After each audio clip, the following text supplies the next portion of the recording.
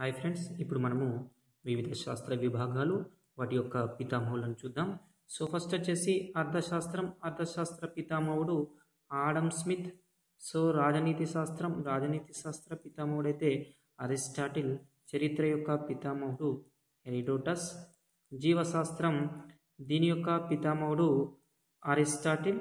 So వైద్య శాస్త్రం దీని యొక్క పితామహుడు హిప్పోక్రటస్.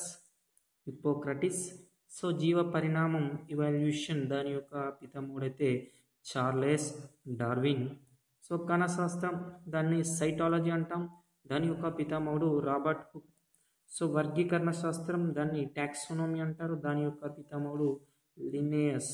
సో వ్యాధి నిరోధక శాస్త్రం దాని యొక్క పితామహుడు ఎడ్వర్డ్ జెన్నర్. జామెట్రీ జామెట్రీ యొక్క పితామహుడైతే యుక్లిడ్. సో మనోవిజ్ఞాన శాస్త్రం సైకాలజీ యొక్క పితామహుడు సిగ్మాండ్ ఫ్రాయిడ్. వృక్ష శరీర ధర్మశాస్త్రం స్టీఫెన్ హేల్స్.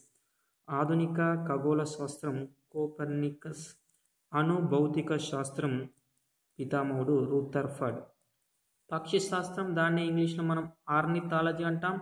సో దాని యొక్క పితామహుడు Salim Ali bird man of India అని కూడా పిలుస్తారు అతన్ని. సో అంతర్నిర్మాణ శాస్త్రం అనెటోమీ అంటారు. దాని యొక్క పితామహుడు Andreas Vesalius.